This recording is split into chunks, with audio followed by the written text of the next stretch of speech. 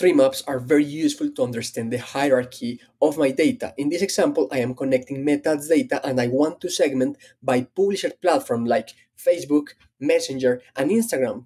But below these platforms, I have platform position. On Facebook, I have banner, stories, and feed. As you can see, I have different levels to segment and break down my data. And that's exactly why I would like to visualize my data with tree maps. To create them on Google Looker Studio, I will go to a chart, I will select the tree map, and I will paste it on my dashboard, and I will create the same query. The query will be link clicks as metrics or clicks, and the dimension will be publisher platform and then platform position.